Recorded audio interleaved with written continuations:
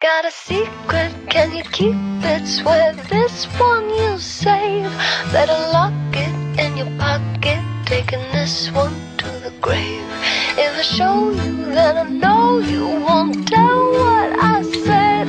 Cause two can keep a secret if one of them is dead.